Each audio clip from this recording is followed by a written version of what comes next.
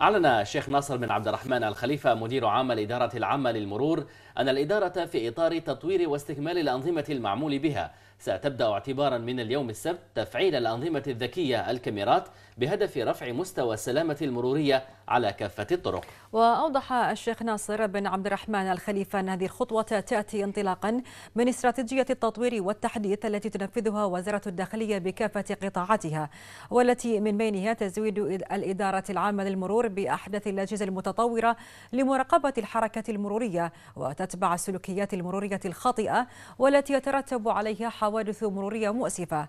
وأشار مدير عام الإدارة العامة للمرور إلى أن هذه الأجهزة الذكية التي أثبتت في الفترة التجريبية فعاليتها وقدرتها على تحقيق الأهداف المرجوة تقوم برصد مخالفات السرعة والتجاوزات الخاطئة وتجاوز الإشارة الحمراء وكذا تجاوز المربع الأصفر وخط الطوارئ بالإضافة إلى رصد مخالفات استخدام الهاتف النقال أثناء القيادة ومخالفة عدم ارتداء حزام السلامة. وأوضح أن الإدارة العامة للمرور قامت بحملة توعوية شاملة تضمنت نشر الوعي بخطورة ارتكاب السلوكيات المرورية الخاطئة على السلامة المرورية منوها في الوقت ذاته إلى إمكانية الاطلاع على المخالفات بتفعيل المفتاح الإلكتروني عبر بوابة البحرين الإلكترونية.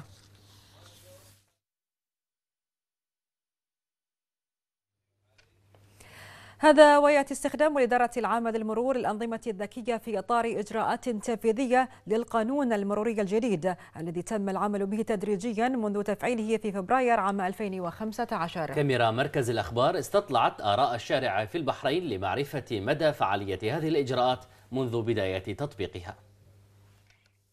أكثر من 600 ألف مركبة تجوب شوارع مملكة البحرين يوميا. عدد هائل يوازيه مجهود أكبر. لمراقبة تحرك المركبات وتسهيل مرورها من قبل الإدارة العامة للمرور. ولدعم هذه الجهود كان لزاما أن يكون هناك قانون يعمل تحت مظلته فعملت الإدارة العامة للمرور على استحداث قانون المرور الجديد لحفظ سلامة الجميع في الشارع. اشتمل على لائحة تنفيذية منها تركيب الكاميرات في جميع شوارع المملكة لرصد المخالفات المرورية وتحركات السيارات في الشوارع. ولأن الموضوع يمس الناس الذين يستخدمون الشارع يوميا. قامت كاميرا مركز الأخبار باستطلاع رأي الناس لمعرفة مدى فعالية هذه الإجراءات. يعني أكيد الناس كل ما كان في قانون ما وضع هذا القانون إلا لضبط يعني حركة الناس وضبط أي شيء يؤدي المخالفات فأنا أيد يعني أي قانون يحفظ سلامة الناس وخلي الناس تنضبط في السير. محافظة على سلامتهم وعلى سلامة الآخرين أيضا. يعني الإنسان آه، يعني ما يحتاج يكون مراقب عشان يلتزم بالقانون لكن أكيد هذه الكاميرات آه، أكيد ما وضعت إلا لسلامة الناس. الكاميرات أكيد غللت الجميع يحاسب والكل يحاسب لها ألف حساب بس السرعة قلت الكل لما يوصل عند الكاميرا طبعا يخفف. الكاميرات الأمنية أول شيء آه، في نفس ما تقول مسك المسببين في الحوادث كشف نقاط الحوادث آه، يعني هذه قبل شو اسمه والكاميرات الأمنية وايد سفتي آه، لنا كنا في الشوارع والواحد بيحاسب أكثر وأكثر من الحين يعني. أشوفه أحسن يعني امنيا أحسن. إذا صار مثلا حادث شيء نقدر إن إحنا نشوف من المتسبب في الحادث ونحصله بكل سهولة يعني. أشوفه أحسن والإيجابيات أكثر إيجابيات أكثر من سيارة. ما أشوف فيها سلبيات يعني.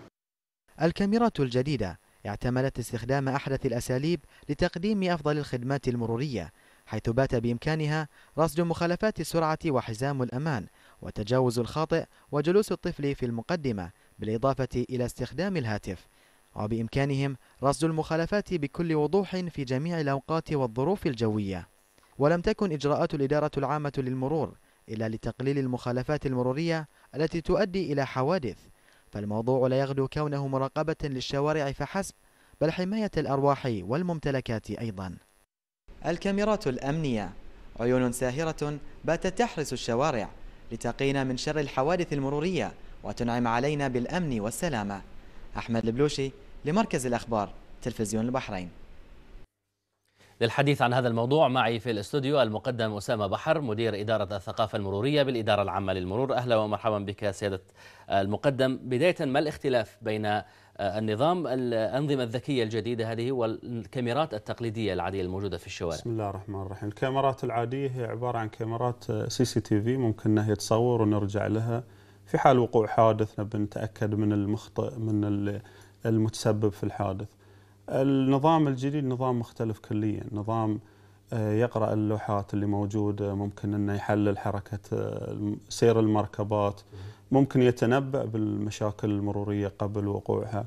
نظام متكامل وهذه يعني آه، ممكن الحديث فيه من مدة طويلة يبقى أنه هو المهم الآن أنه هو يتتبع المركبات في مسألة المخالفات المرورية المعينة. ممكن أنه هو يضيف لحق ال CCTV العادية أنه هو يرى من المتسبب في الحادث ممكن هو يتنبأ بوقوع آه، ازدحامات مرورية في مناطق معينة. يعني ليس بديلا عن الكاميرات العادية وإنما رافد لها. ممكن أن تكون رافدة أو أن تكون بديل ستبقى عامل الكاميرات التقليدية؟ موجودة نعم. موجودة ستبقى عامل. طيب من خلال الخبر الرسمي أن هذه الأنظمة الذكية ستسلط الضوء على مشاكل الأزمات المرورية التي تتسبب بها الحوادث. وما ينجم أو ما يسبب هذه الحوادث من عدم استخدام حزام الأمان وعدم واستخدام أيضا الهواتف النقالة أثناء القيادة وقطع الإشارة الحمراء والدخول إلى المنطقة الصفراء إجمالا كل من يتعامل مع الطريق يعرف أن هذه المشاكل الموجودة في شوارعنا هل هذا النظام لديكم دراسة أو رؤية بأنه سيقلل فعلا من وجود هذه المخالفات وازديادها؟ لن تقع أي أي من الحوادث المرورية ما لم ترتكب مخالفة. يعني الحادث المروري يقع نتيجة, ارتكاب مخالفة. مخالف. فإذا قللنا من عدد المخالفات معاها راح تقل عدد الحوادث وبالتالي بينزل عدد الحوادث الوفيات الإصابات البليغة والوفيات. المخالفات الموجودة واللي هي تسبب الوفيات في البحرين أولها الهاتف النقال وتؤخذ تحت بند عدم العناية والانتباه وفيها 28 حادث وفاة خلال 2015 آه، بعدها تي السرعة 18 شخص توفى بسبب السرعة في البحرين. في 2015 في 2015 وخذ السنوات اللي قبلها. فإذا أخذنا ذي كنموذج بس الآن الهاتف النقال والسرعة. وبعدها معاها تجاوز الإشارة الضوئية اللي هي ثمان وفيات في السنة. فأنت تتكلم عن عدد لا تتحمل البحرين. بعامل اجتماعي الناس لا يعني ما تتقبل هذه النوعية من الحوادث. لوجود فيها استهتار وفيها فيها تجاوز للأنظمة والقوانين. فإذا إحنا حصرنا ولا حاولنا أن نقلل من المخالفات المرورية في ذي الجانب فبالتالي بتقل الحوادث معها تبعا وهذا أمر لا شك فيه. الكاميرات الآن اللي موجودة الأنظمة الذكية هي ترصد السرعة ترصد تجاوز الإشارة الضوئية ترصد تجاوزات الخاطئة بأنواعها ومنها أهمها اللي يزعج الناس اللي هو التجاوز من الخط الطوارئ اللي هو الخط الأصفر. آه، الطفولة لها معنى كبير عندنا وهي رسالة سامية. نعم. فبالتالي تواجد الطفل في في المقدمة في نعم. السيارة هذه خطر كبير عليه. نعم. آه، عند الهاتف النقال واستخدام حزام السلامة. وسبق أن يعني في موضوع حزام السلامة. آه، في أكثر من مرة عرضنا أن كيف أن حزام السلامة يقي وعدم استخدامه يعني يسبب حوادث كبيرة. ممكن أنه يعني يسبب ضيق لدى الناس بس ترى يعني مهم جدا استخدامه يقلل من آثار الحادث بلا شك لأن حوادث التدهور السائق أو الراكب ما ما بيظل في السيارة، الجامات تكسر ويطلع، لكن بوجود حزام السلامة وأكثر من حادث عرضنا إنه يبقى في السيارة سليم بدون لا يتعرض حق أذى إن شاء الله. نعم. آه، تفعيل هذا النظام الجديد هو آه، استكمال لسياسة الإدارة العامة للمرور ووزارة الداخلية بشكل عام. منذ 2015 تم إطلاق القانون الجديد نعم. للمرور. ولاحظتم أن هناك ربما زيادة أو انخفاض. الأرقام التي ذكرتها عن مستويات الحوادث المرورية منذ إطلاق القانون الجديد وما رافقه أيضا من تنظيم تنظيم جديد وإدخال مثل هذا النظام الذكي. هل لاحظتم منذ إطلاق فبراير 2015 هل لاحظتم قلة في عدد الحوادث المرورية أو قلة في نسب الإصابات أو الوفيات في هذه الحوادث المرورية؟ أين يكمن الخلل إذا كان القانون صارم وهناك وسائل للرقابة؟ آه، يبدو أن المجتمع كما تحدث الذي لا يتقبل مثل هذا الحجم من الحوادث بحاجة ربما إلى توعية بشكل أكبر. نعم. العمل يجب أن يكون بشكل متوازي سيادة المقدم. لو نرجع أن آه، اقتراح بقانون آه، اللي هو تعديل قانون المرور صار في مجلس النواب أخذ فصلين تشريعيين. بمعنى أنه أخذ ثمان سنوات.